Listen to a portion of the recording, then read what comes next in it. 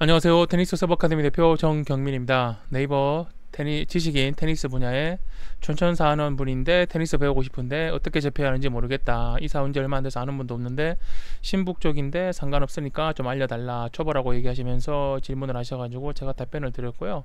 춘천에는 송암 국제 테니스 코트라고 테니스 코트 숫자도 많고 시설도 좋은 아주 좋은 시설이 있고요. 여기는 기본적으로 레슨이 계속 진행이 되고 있고 또 가보시면은 다른 동호인분들이 있으니까 좀 적극적으로 물어보시면은 알려주실 거고요.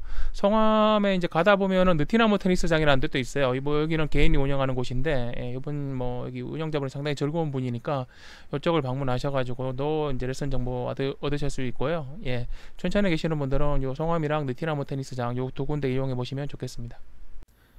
테니스 서브가 발전하는 서브 비밀 노하우 무료 소책자를 받고 싶으신 분은 영상 아래 상세 설명에 있는 무료 소책자 받기를 클릭해 주세요.